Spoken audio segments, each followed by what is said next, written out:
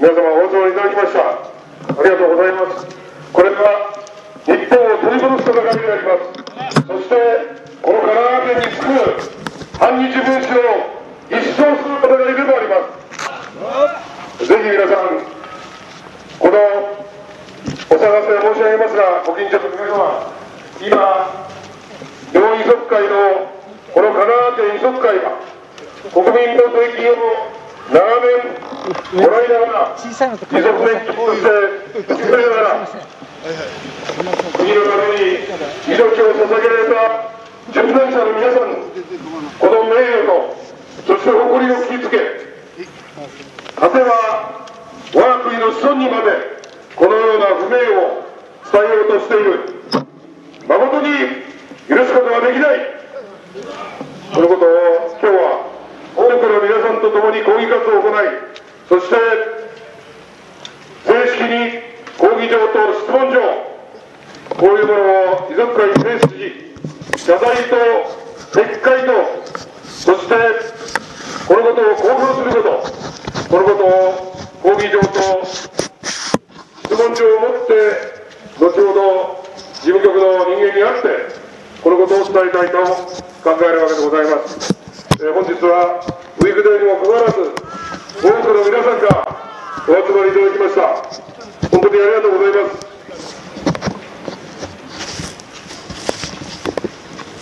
今日は、えーそういう意味で、えー住宅地でございますから、えーこういう形で、まあ、比較的静かな形で、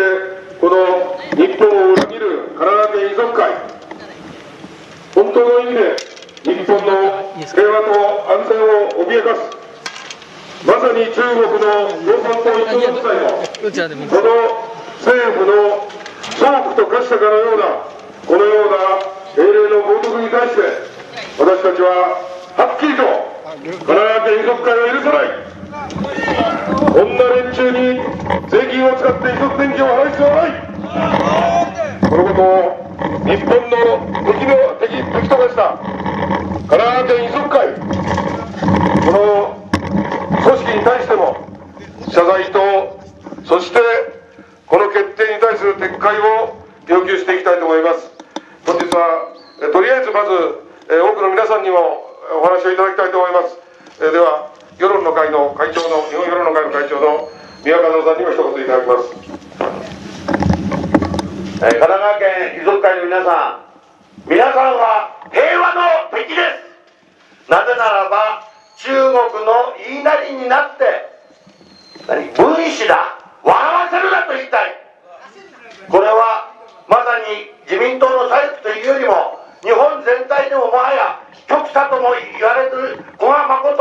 古賀誠の軍門に下って、こういうことをやってるんでしょう。神奈川県遺族会の皆さん、とりわけ執行部、恥ずかしいと思いませんか？もし遺族会が分子などという、これは神道の教義から言ってもありえないことですが、もしそれをやったら、誰が一番喜ぶか、中華人民共和国ですよ。そして中国はしめしめとなり、ますます日本に対して侵略の牙を向こうとしています。つまり神奈川県遺族会というのは平和の敵なんですよ。戦争を招き寄せるんだ。平和の敵、神奈川遺族会許さないぞということで、スプレイコールをとりあえず行いたいと思います。それではご唱和をお願いいたします。スプレイコール平和の敵、神奈川県遺族会を許さないぞ日本を貶める神奈川県遺族会を許さないぞ小浜誠の手先神奈川県遺族会を許さないぞ我々は日本の誇りを取り戻すためにタンクを戦うぞ神奈川県遺族会は反省をしろ発射しろ我々は神奈川県遺族会のこの軽挙モードを許さないぞ許さないぞ許さないぞはいありがとうございますこちらは草の根国民運動組織頑張れ日本全国行動委員会でございますえ私たちはいわゆるえ外戦右翼と呼ばれるえ組織ではないしそういう人間ではありません本当に日本の未来を憂いそして子どもたちの未来のこれを本当に守っていきたい中国共産党一党独裁の国のこの神奈川県遺族会のようにその手先と化してしまったかのようなえこういった政治的な決定を行うこういう組織に対してなぜそんな日本が嫌いなのかなぜ英霊やそして多くの100万人以上と言われる爆撃やその他で戦争で犠牲となられた皆さんこういった人たちを裏切るのか神奈川県遺族会に対して猛省を促しそして多くの国民の前でそしてもっと言えば無数の先祖の前で謝罪をしそしてこのような反日的な決定を撤回しなさい。謝罪しなさい。そうでなければ長年日本の国民の血税をもって遺族というところで年金をもらいそしてそれで生活をしてきた遺族会の諸君恥ずかしいと思ってもらいたい。皆さんの祖先が命を捧げ血をもって皆さんの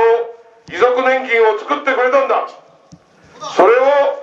何十年にもわたってその先祖の命英霊の命のその贖いとしてこの靖国神社の英霊の分子こういったものが答えとして出てくるはずがない。同時に今皆さんもおっしゃってたように神道の考え方からしても分子などというものはありえない。大体人間の脳で人間の力で神様の御霊をあっちへ分けてこっちへ分けるというようなこんなことができると思ってんのか。誠に不尊極まりない考え方でありそしてこれが誰が一番喜ぶかといえば中国共産党一党独裁政府であり今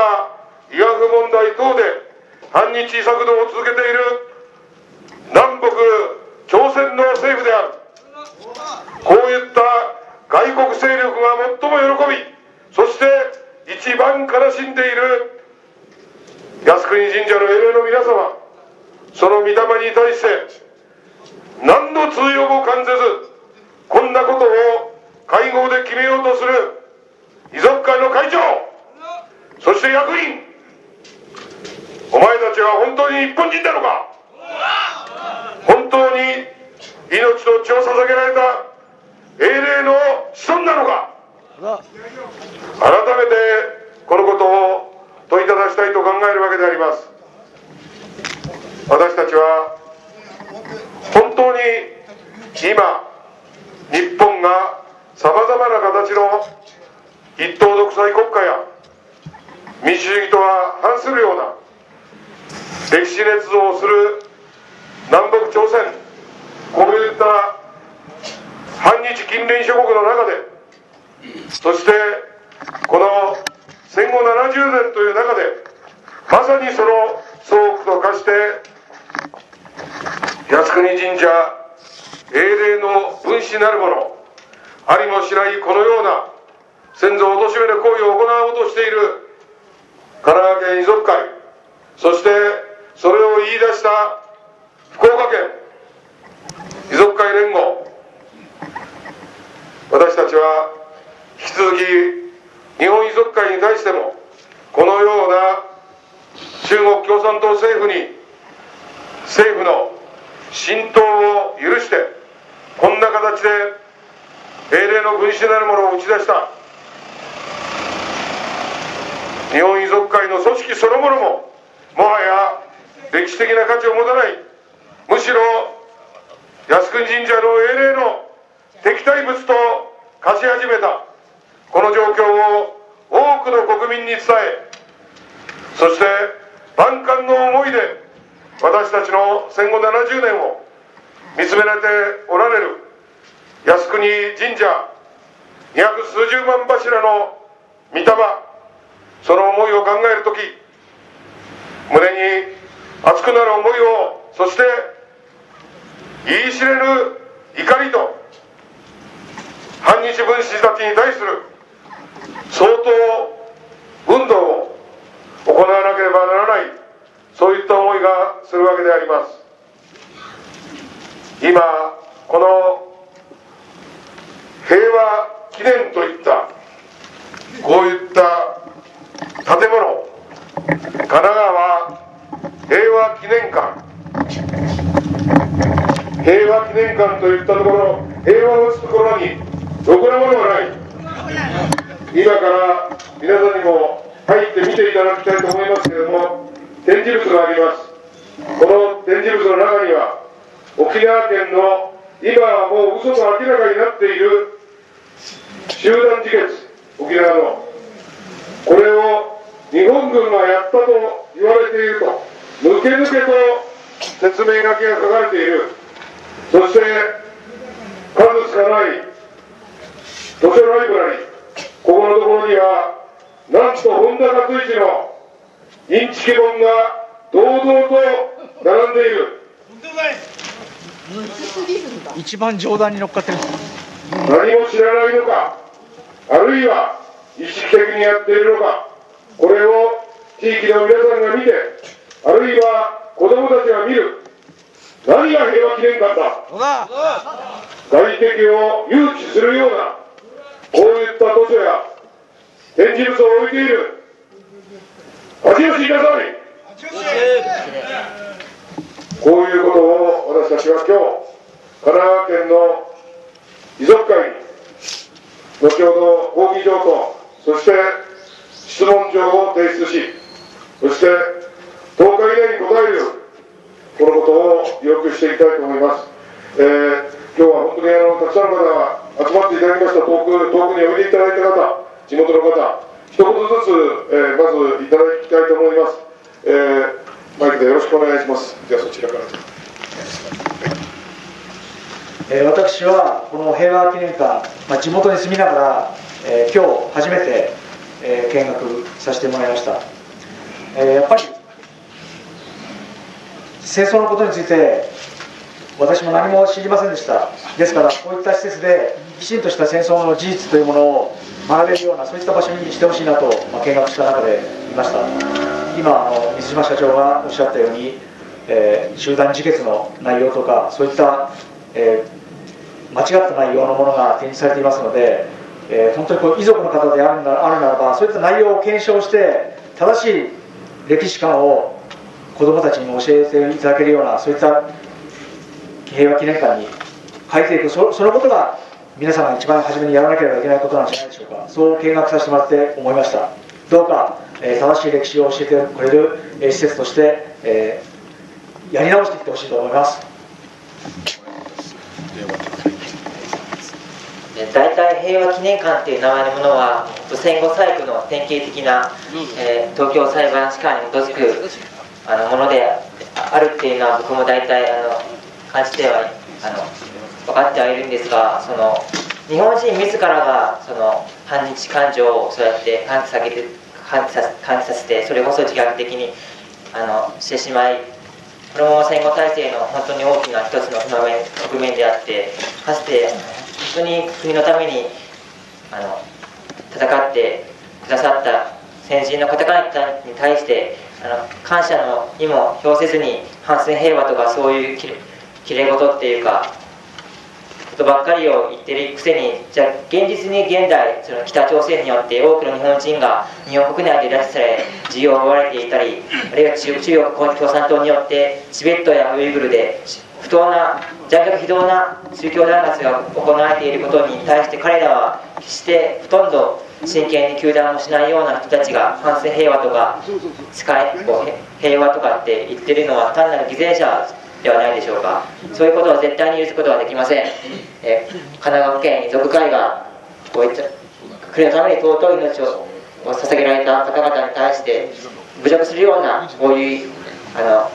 あの神道という日本の伝統的なものにもあの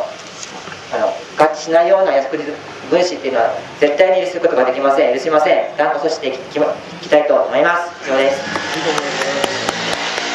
どうもありがとうございます。若い人がご一緒で嬉しいですね。ちょっと今、参加の方から教えてもらったんですけど、ここなんか、慶応大があるのに、日の丸に立ってないんですよね日本の平和記念なんとかって言ってる割にはなぜ日の丸が立ってないんだろうと普通の保育デーですからねまだ5時になってないですからこれもちょっと聞いてみたいことですねはいでは続いてあの神奈川平和記念館の皆さん、ましてやあの遺族会の人たち、あの本当に自分の国で自分のためにあの玉砕し散っていった方、英霊の方たちはあなたたち本当に侮辱してますよ。本当にそれを本当に冷静に考えてですね、小山ことなる人物たちのあの本当にあの妄言なんかに惑わされずに、ぜひ猛省してほしい。我々は絶対断固反対します。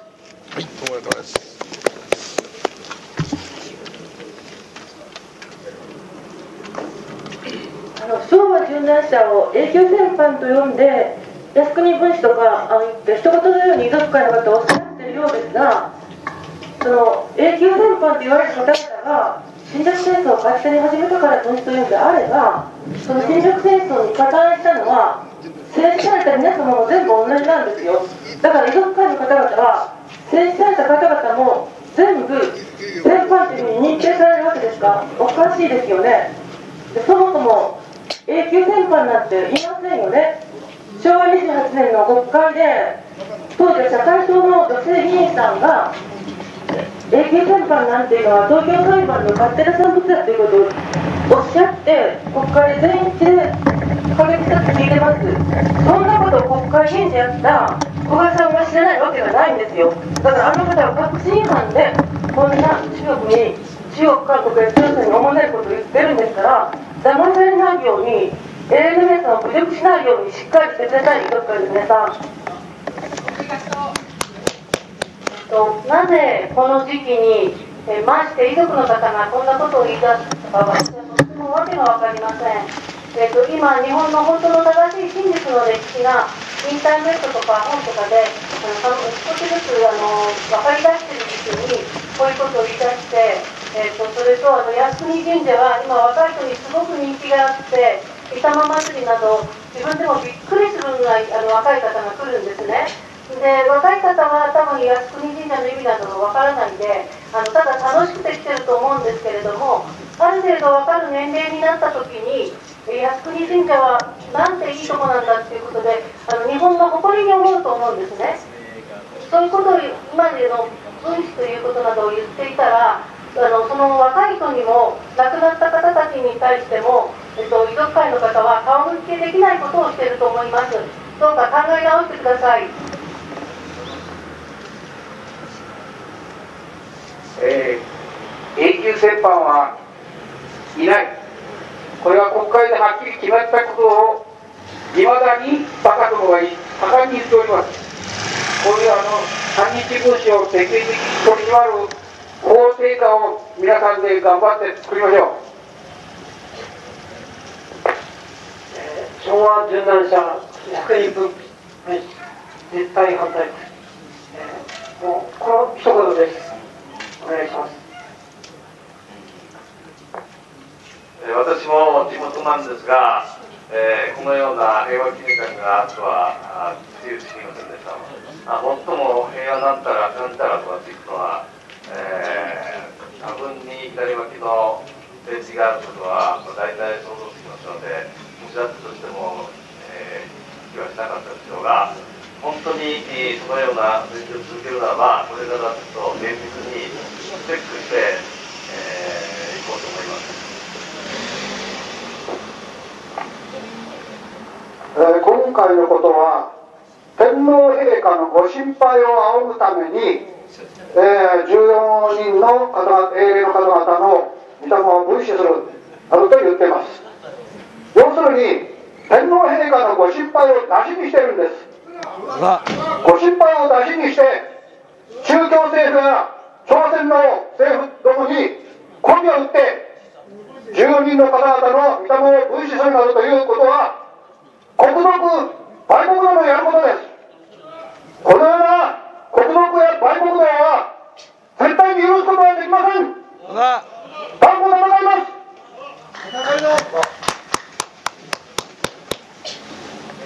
学のない人間なんですけども、えー、チャンネル桜を見てい1年くらいだと思うんですけども、えー、こちらでしかほとんど勉強しておりません、えー、ビジュアルソフトが作られたあの映画を昨日見ましてビデオを撮りましていやいやすごくあの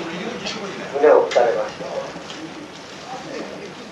あのように簡単に死んでしまうんだなと。リアルな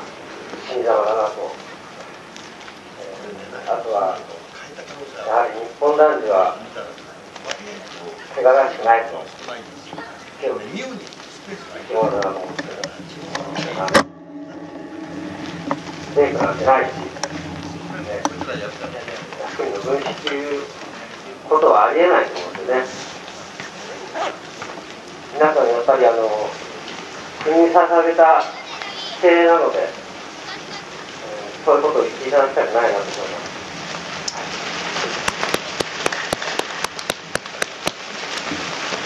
えー、私は地元、まあ、神奈川です。えー、永中全般なんて、えー、米中も C 級もあんなのは事務法で、えー、後から勝手に地を作ってなすりつけて、それをその外国人たち、反日外国人たちがただそれを利用してやってるだけです。非常に汚い連中だ。こういう連中は絶対許さないぞ。まあ永久先輩な中座はないんだから自分のおじも昭和20年陽動の近所で戦士やったけど永久先輩なんていうのは絶対ないから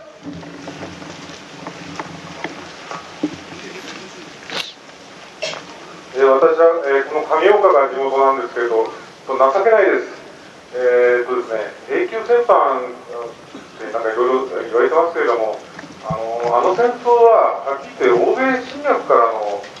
抵抗であの仕方なくやった戦争だったんですよね。えー、結果的にあの日本は国力が当時も全然ありませんでした。だから負けただけのことです。でですからあのね、欧米のああいう価値観に惑わされることなく、えあの正しい歴史をあの皆さんであの世界に伝えていきたいなと思ってます。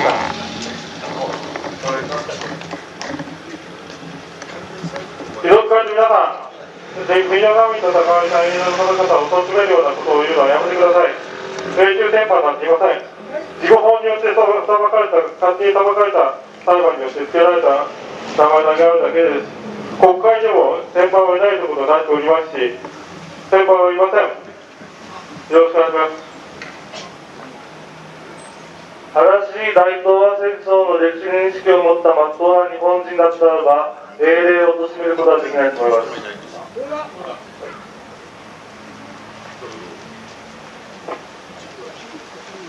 本の愛国者、昭和受難者を心より尊び感謝いたしております。隣国の例えば中国の真実や真理を曲げて侵略を狙う国の目先に決してならないでください。平和記念館が平和を守る地上の具体的な建物そしてまた仕事としてよく学んでください。この戦後70年に特によろしくお願いいたします。国旗も掲げてください。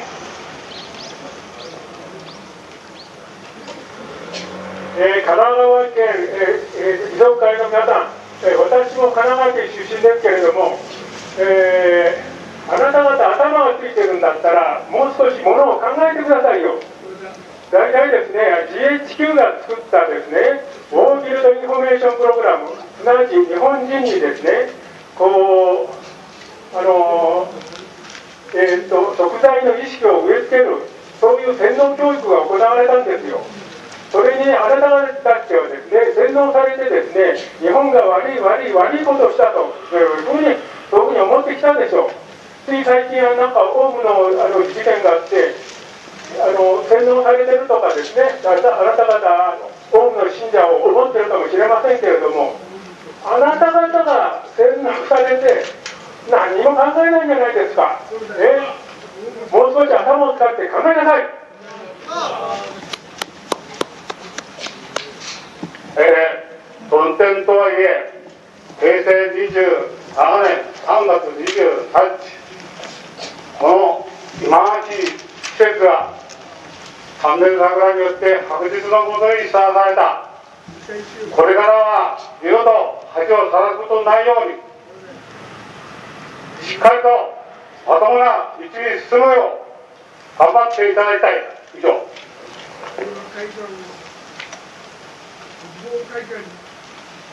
えー私は昭和殉難者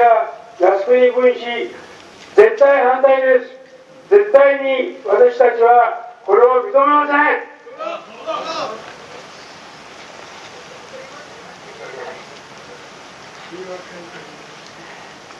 この戦争は大東亜戦争は日本が好んでやったのではありません。アメリカルーズベルトが仕向けたものです。日本はやむなくこれを受けざるを得なかったのですそういう戦争で多くの若い日本兵が参加されまして日本を守るために必死な思いで戦い続けてくださりししかし負けたものではございますがこんなわけですから大東亜戦争の意味をもう少し皆さんは勉強すべきです靖国神社の文章を考えるなどとんでもない思い違いです私は神奈川県出身川崎市のものですが横浜市でもこんな考えを持っているということを知りませんでした川崎だけが心配でしたけれどとんでもない考えです思いを変えてください絶対に反反対いたしますどうもありがとうございます。えー続いてこちらいただきます。まず、この記念会には国旗が貼ってません。英霊に貼ってほしくないのですかもう一つ、あのー東京裁判の他に横浜では横浜裁判というのがあって、えー BC 級の天板が咲かれました。それもかなり濡れ衣があるそうです。あの横浜裁裁判の方もこれから調べて、えー私の方で発表したいと思います。以上です。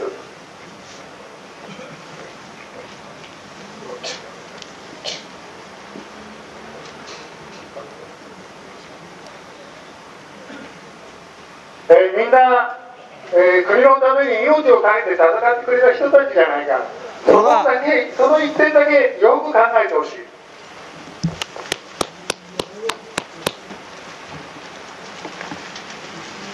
遺族会のですね会長、それからあの遺族会の皆さんね、一体何を考えてるんでしょうか、この分子という問題はですね、あの反日適正国のですね中華人民共和国、これの、えー対日工作なんですよね、それから、えー朝鮮半島、朝鮮人、韓国人によるですね、えー対日のその要するに揺さぶり工作なんですね。えそういうものをしっかり考えてですね、えー、その古賀誠の一味みたいな形でね、こんなことをやるっていうのはとんでもないことでございます。で私もね、これ神奈川県の人間なんですけどね、ここへ来ましてびっくりしましたね。こういうその反日局所のね、集合体みたいなものがね、こういうことをやってるなんていうのは、絶対許すことができません。これはあの継続してね、私もこうやりたいと思います。以上です。はい、えー。一言申し上げたい。先週の切れちゃってるんで修理水曜日、修理ですか？あげてない。ここの平和記念館に電話しました。ここ2階に残留孤児のについて抗議をしましたところ、あ出てきた大体わかります事務局の人は何と申起きたか分かりますか？後に。そういう事実はない。なんですかみこ古賀さんとは違うよと。はいはいはい。あれがついそれがこんなことを抜け抜けと言っていましたよ。私は横浜市民としてまた神奈川県民として非常に恥ずかしい思いがしました。抜け抜けと抜け抜けとそんな事実はないと私の耳にこびりついています以上ですえー、え雨がちょっと降ってきましたけど、あのこれ以上あのあの強くなれば、ちょっと中に入ってあの、展示館の見学をまず先に優先したいと思いますけれども、えーとりあえず、今のこのぐらいのとちょっと今続けたいと思います。えー、雨見ながらやります。じゃあ、一言。あの天皇陛下が、えー、靖国神社でご心配をなさらなくなったのは決して、えー、永久戦犯が放置されたからではないあの当時、えー宗教問題でいろいろ騒がれてたんです。その問題で天皇陛下が、えー辞退されたんじゃないかと私は思っています。以上です。私も神奈川県民です。平和記念館このものがあるとは私も知りませんでした。これから頑張れ日本。全国行動委員会のもと昭和殉難者靖国分子断固阻止断固粉砕を始めます。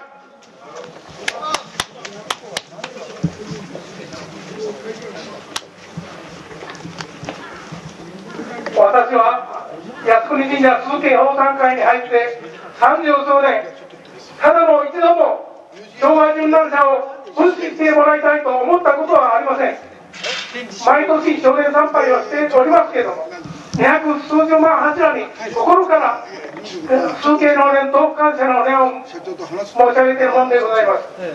今回神奈川県遺族会がこのような馬鹿げた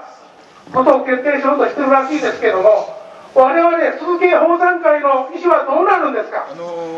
ポールは日本靖国神社の御霊はえ遺族会の一つためのもの神奈川県だけではありませんよ。とか両方出してないんですよ。両方出してない。ですね。1億2000万人の両方とも心の魂なんですよ。ですかね。だからもう少し数形会の人も一般国民の人たちのことも考えてこれからあーわけのわからん決定を下さないようにお願いします。あとなんかこうモニュメン神トがあって奈川県遺族会の皆様それが私も神奈川県民の一人ですがあってそここにこんな平和記念館があるとは思ってもいませんでした中国の今後よくここへ立ち寄ってモモチーフにしたっていうその後鎮魂っていうはい昔の大事にしてるかどうか確かめておきたいと思ったらモニュメントあるんですかええそれがは鎮の字。鎮魂って書いてあるらしいんですけど鎮の字。は中国の字。も日本の字。も同じですよ昔の字。も今今の字は違う。けどあれでしょ金書いて上ここにえこれ書いて。これでしょ？これは日本もこれでしたよ。昔は。神社に17柱祀られているために。わからないようなモニュメントなんですよ。うん。読めない。やめてほしいですね。ことが起こり中国のってついて天皇も参拝できないと。あります。いうふうに書いてありました。なんか四角いやつその参拝ができないのはあなたたちのような考える人が多いから参拝できないんじゃないか何を考えてるんだ？私はこの文章を読んで僕は誠。それから神奈川県のトップの人遺族会のですね何も知らない人はトップの人に従ってるだけです。あなた方は日本を貶める。まさに国賊である。心を入れ替えていただきたい。えー私も神奈川県民ですけれども、えー神奈川県、えー遺族会の特に会長、幹部の方々に申し上げたいと思います。分子なんてふざけたこと言ってんじゃないよ。あの家連の皆さんが泣いてるじゃないですか。本当に許せませんね。神奈川県民としての恥です。よろしく猛省を願います。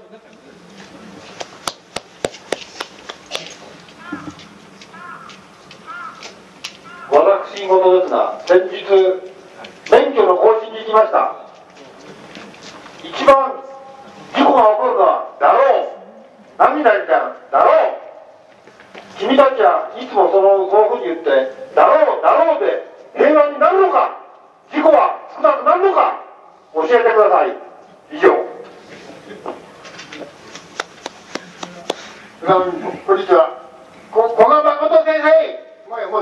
先生と言いませんけどもこの看板よく見てください。あと読めるかい？あとで出てこないかい？こういうふうにやったらばあなたにやることは遺族会もやめたんでしょうからねあのー、処方じゃ外交である遺骨の収集に発散したらどうでしょうかこんな子バカでやんないでくださいもう一度これよく見てください昭和殉難者靖国文文士断固阻止と書いてありますねはいありがとうございます、えー、この分子の問題はですね二重にも三重にも間違ってますただ、えー、合理的なことが好きな左翼の方にも分かりやすく、えー、その点でご説明しますと、えー、いわゆる永久戦犯というのは平和に対する罪というのを問われてるんですがこの平和に対する罪というのは戦前にはなかったことなんですねこの概念は戦後作られたものですこれ、えー、訴求法と言いますでこれは、えー、法律不訴求の原則というのがありましてこれを反してしまえば法治国家は潰れてしまいますこんなことをやったら、えー、今後、えー、日本の国家がおかしくなる話なんですこれを、えー、やることはえー、日本を壊すことです法治国家を壊しますまるで、えー、半島にあるあの感情で人で、えー、人知の国のようになってしまうようになるわけです。この点よく考えてえー、この永久いわゆる永久戦犯というものを認めるか認めないかその辺よく考えてください。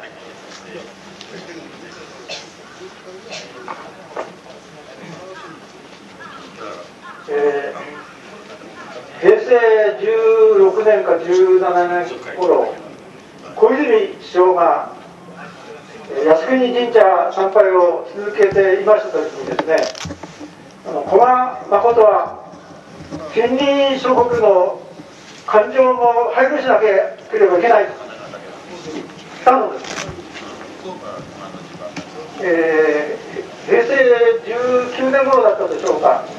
毒餃子事件というのがありましたこの毒餃子の発祥元はご承知の通りシナ中国であります。この今回の靖国神社、えー、分岐問題あるいは孔子問題の原産地もシナ中国であります。ちょうど今年の夏ですね安倍首相は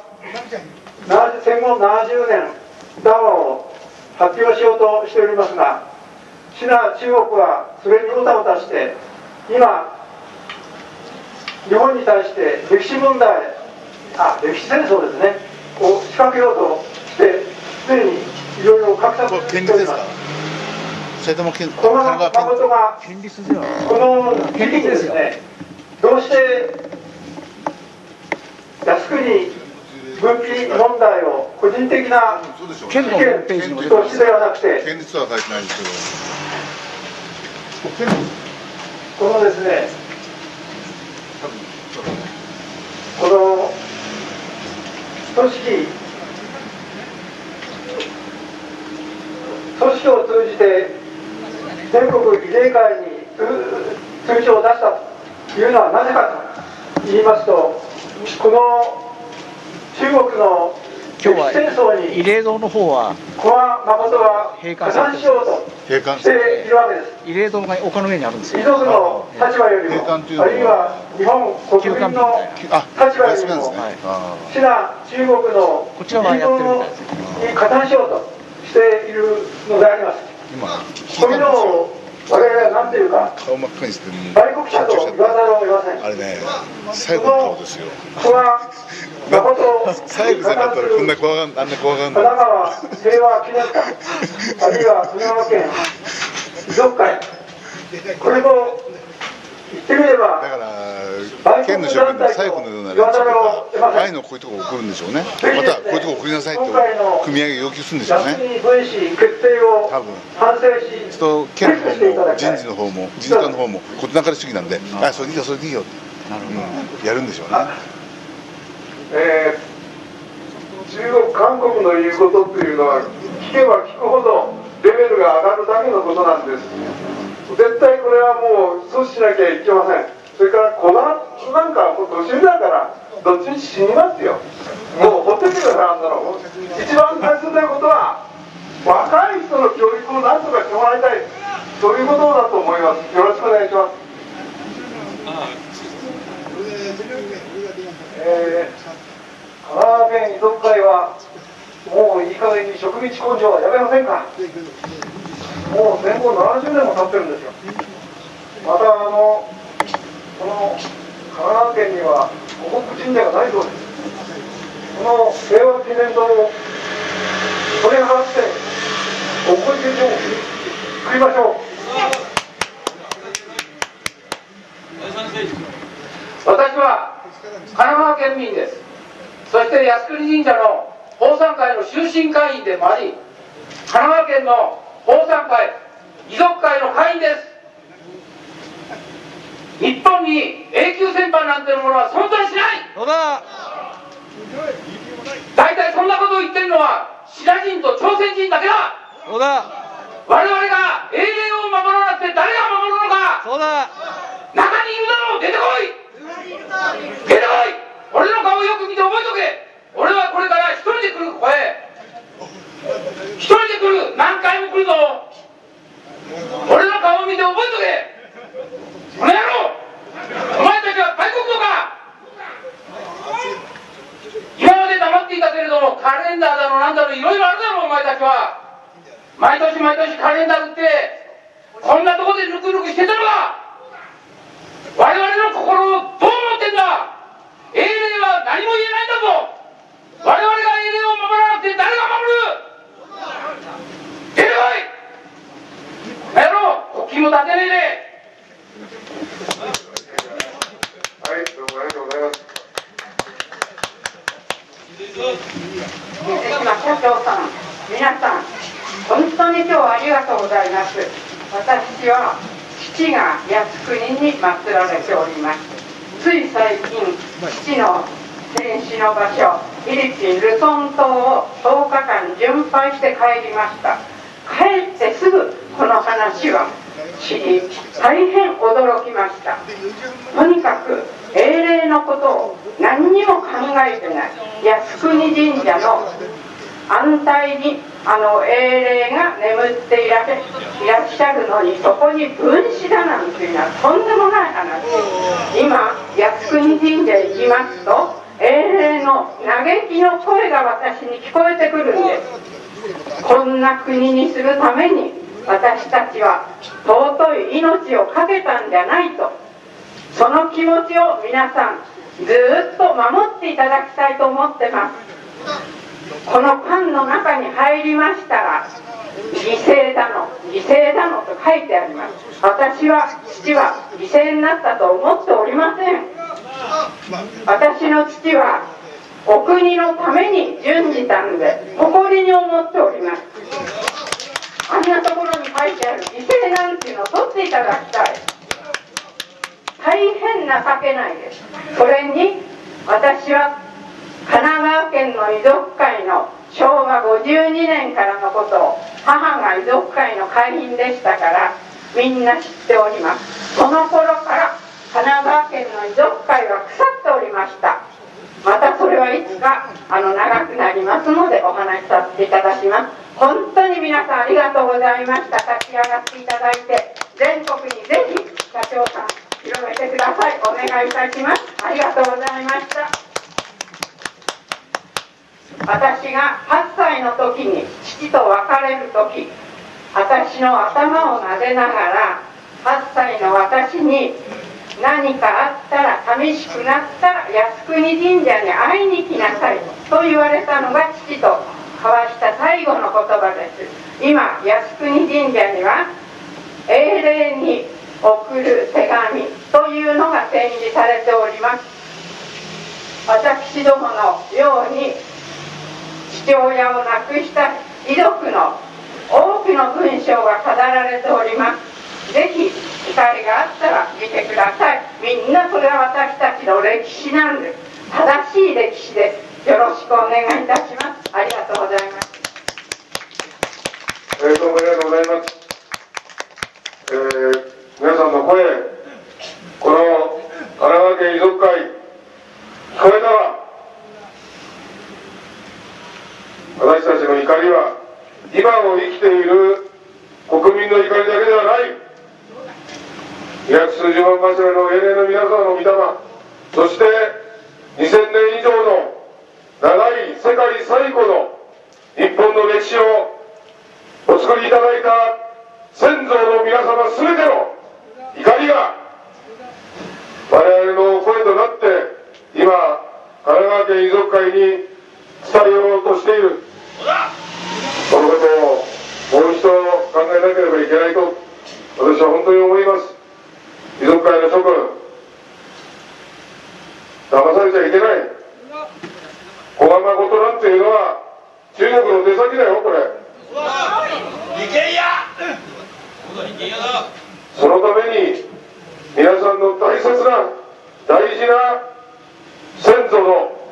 国のために命を捧げられた先祖の御霊を汚していいのか。もう一度考えなさい。そのことを言います私も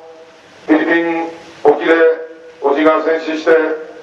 靖国におります。こういう人間が本当に日本の中にたくさん靖国神社が多くの英霊の皆様が御霊を野菜でそこにおられる。こういうものをあいつがダメだこいつがダメだそんなことをするのは日本人のやり方ではない。ぜひ神奈川県遺族会の諸君猛省してもらいたいしそして撤回しそして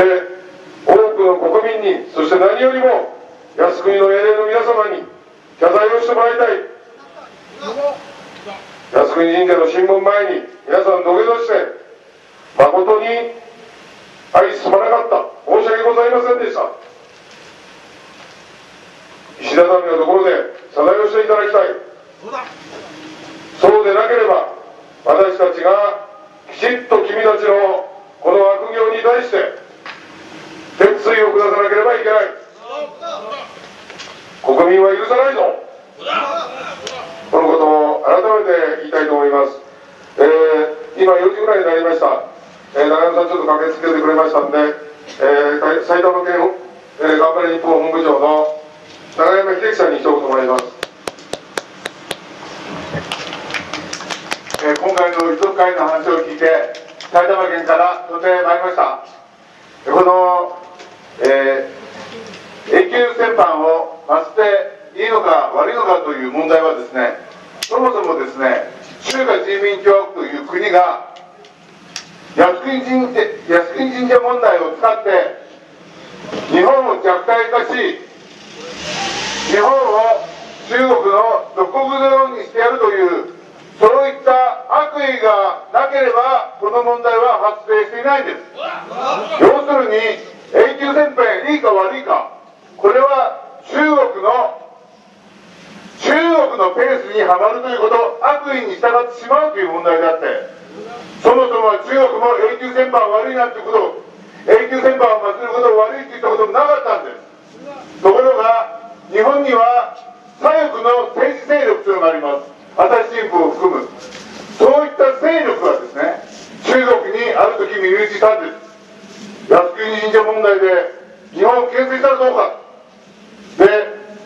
中国はこの永久戦犯を祀られていることを問題にしたらなんとこれが成功したなぜかといえば日本では中国が永久戦犯の問題をに触れると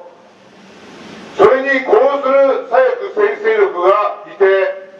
そして日本の世論は分断されるつまり中国から見れば日本分断日本弱体化のために永久戦犯の問題はととても有効だと気づいてしまったわけですですから今回の分子求めるというこういった言論も結局は中国の分断工作に乗っかってしまっているということが言えるのとそれからもう一つ言えるのはその中国の分断工作にそもそも遺族会がこうしてるんじゃないかという可能性なんです戦没者の遺族がこのような中国の悪意ある攻略にあえて呼応するというのは最初から遺族の間にも悪意があるんじゃないか中国は相手を攻めるとき敵の中に味方を作るという方法を常に取りますがすでに遺族会の中に中国の工作員のような中国の影響を受けた人間が利益誘導にかかった人間あるいは弱みをになってる人間がいるんじゃないか。こういうことは当然我々は疑わなきゃならない。そこで遺族の遺族会の皆さんにお伺いしたいのは遺族会の中で特に分子を要求するそういうことその必要性を強調する人と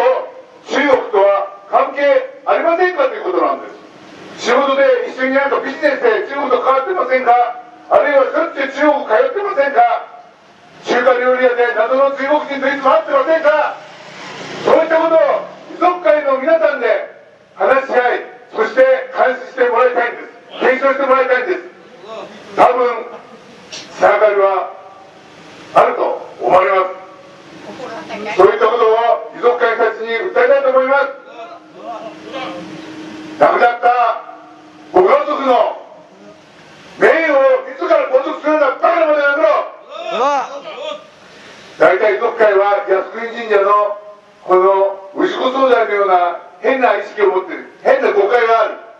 それと子供って言うんです。自分たちが靖国神社を何でもできると思ってるのかもしれない。そういったバカな勢力を宗教がほっとくわけがないんです。おそらく浸透してるんじゃないでしょうか。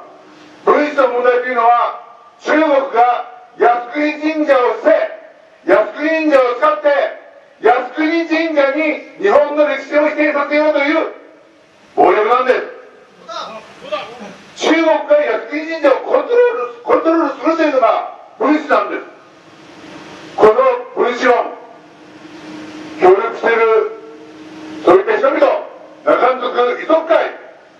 これはもはや日本人の心を失ってしまった中国の犬実際の工作員。疑わざるを得ません。よしある遺族会メンバーの皆さんその辺よく考え内部調査を進めてほしいと思います。それからここで日照機が掲げられてないのはなぜか今中へ行って聞いてきました。えー、っと旗が切れているから修理中です。ということでした。でじゃあ治ったら掲げるんですかって言ったら掲げますと言いました。えー、実際どのように聞いてるのか神奈川県民の皆さん皆さんは彼らに声を出す権利があります。ぜひ聞いてください。そしていつ掲げるか明日すぐ掲げろと要求してください。そして全国でこのボードをいつ旗が掲げるか全国で監視しましょうということを私も呼びかけたいと思います。どうもありがとうございます。えー、ありがとうございました、長山さん。えー、今の国旗の問題をですね、その返事もらいましたから、えー、仮のあれとして私たちも日の丸1枚あの寄付して掲げてもらいましょう。ね、あのそういうことだったら大変あの修理まではこれ使ってもらってね、プレゼントしてもいいと思いますから、1枚プレゼントしましょう。はい、はい、ちょっとまだあの一応了解をね、得ながらやりましょう。はい、えー、皆さん、今からですね、えー、この問題も含めてですね、えー、中に入っていきます。えー、広丸のところ、頑張れ日本の、あの、あとはちょっとここに一応置いていただいてですね、それで、私が講義場を手渡しますので、皆さん、一緒に来てください。展示、展示物がありますので、ぜひご覧いただきたいと思います。あの、ボードあるもの、えプラカード、えー、これは一応ちょっと、一応置いてくれますか、仮に。はい。えー、それでは今、揃いましたらみんな中入りたいと思います。はい。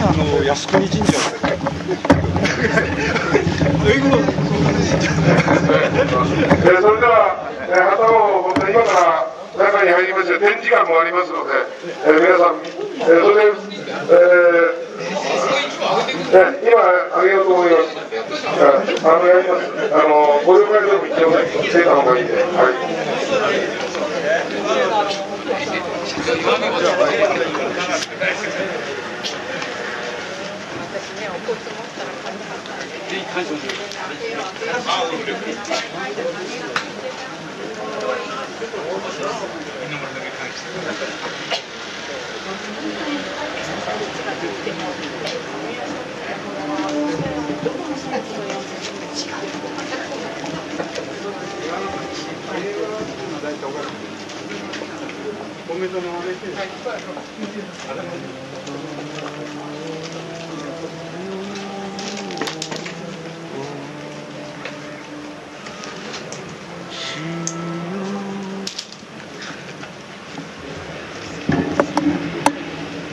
う一回見るのかな